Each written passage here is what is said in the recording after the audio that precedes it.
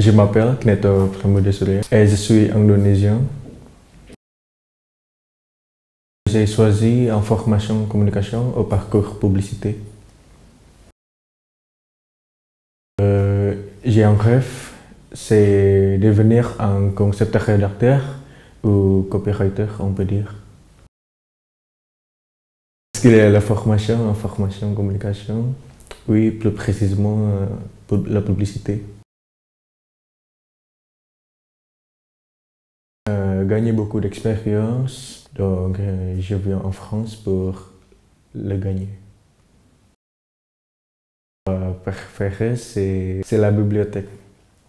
Je peux faire un ami ici, donc c'est bon pour moi. Et après ça, j'ai une expérience en France, c'est déjà, c'est déjà sympa pour moi.